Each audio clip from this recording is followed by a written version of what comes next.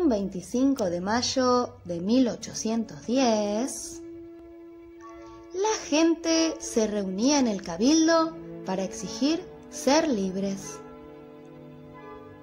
Había varios personajes, varias personas, como por ejemplo el velero, que vendía velas, porque no existía la luz eléctrica. Estaba el caballero, que vestía de galera, jabot, traje. El farolero, que se encargaba de ir prendiendo los faroles durante las noches. Porque claro, no había luz eléctrica. Estaban los gauchos, que vivían en el campo. Miren cómo se vestían. Estaba la lavandera, porque claro, no existían los lavarropas. Otro velero. Había muchos vendedores de velas. Estaba el lechero, porque la leche tampoco la vendían como se vende ahora. También tenían bailes característicos. Estaba el minué, las mujeres con sus grandes vestidos y los hombres con sus trajes. Estaba el candombe también. Miren cómo se vestían, con ropa más colorida. También estaban los bailes de los gauchos, las chacareras, el gato. Los transportes no eran como hoy. Antes usaban carretas.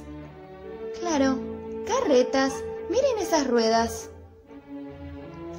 Los caballos tiraban de las carretas para que la gente pueda trasladarse. Las comidas típicas son, por ejemplo, la mazamorra. Miren, es una comida dulce. Estaban las empanadas. Mmm, existían las vendedoras de empanadas también. Habían tamales. ¿Qué se hacía? Con harina de trigo. Los juegos tampoco eran como los de hoy.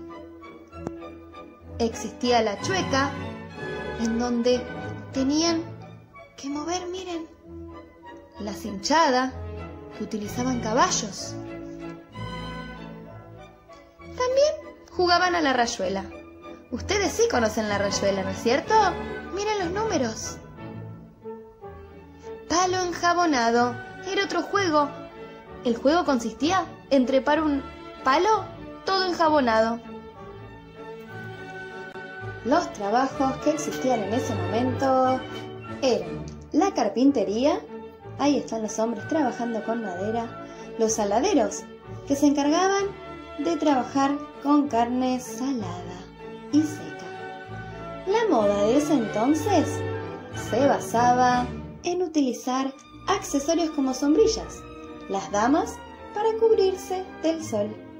Los caballeros usaban galera, muy elegantes. Las damas también usaban peinetones, con unos peinados súper elegantes. Los caballeros también usaban jabot, además de su traje y su galera. Y ese 25 de mayo de 1810 se reunieron todos juntos en el cabildo para pedir ¡Queremos ser libres!